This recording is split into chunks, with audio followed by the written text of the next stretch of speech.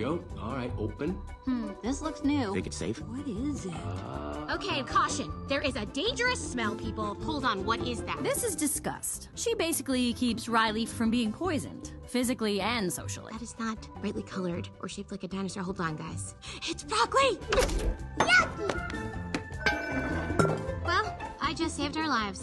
yeah, you're welcome. Riley, if you don't eat your dinner, you're not going to get any dessert. Wait, did he just say we couldn't have dessert? That's anger. He cares very deeply about things being fair. So that's how you want to play it, old man? No dessert? Oh, sure. We'll eat our dinner right after you eat this. Right, Riley, here comes an airplane. Oh, airplane. We got an airplane, everybody.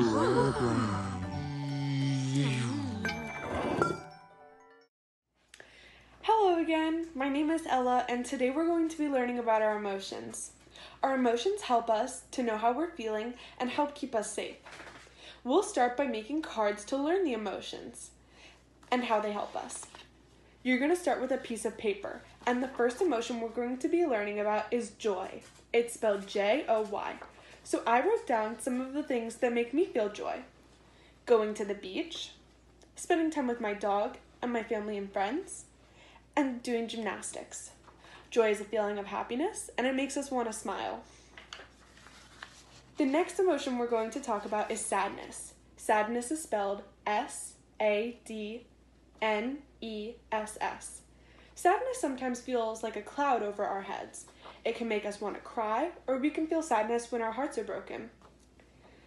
You may be sad because you lost your stuffed animal or one of your blankets tore. And this could tell us maybe next time we should be more careful and try and keep those things safer. Sadness is a good emotion because it lets us know when we need to change something. The next emotion is one of my favorites. It's excitement. E X C I T E M E N T.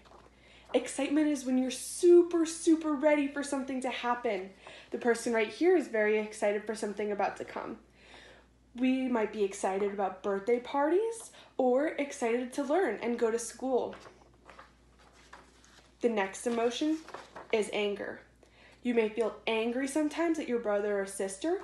It can feel like a fire and you might want to yell at someone. Anger is really important because that tells us that maybe we need to talk to somebody. Maybe you need to talk to your mom or your brother or sister about why you're super upset. And that can help us be less angry sometimes and still have the problem get better. The last emotion we are going to learn about is fear. So, fear is when you're really scared of something. I'm afraid of spiders because spiders can be dangerous, and fear tells us that maybe we should stay away from those and keep us safe. Sometimes you can be scared of the dark. There's lots of things you can be scared of, and it helps keep us safe. Those are all the emotions for today. You can pause the video, rewind, and write down all of your own. You can keep these safe and look back at them when you don't really know how you're feeling and see which one you relate to the most. Bye!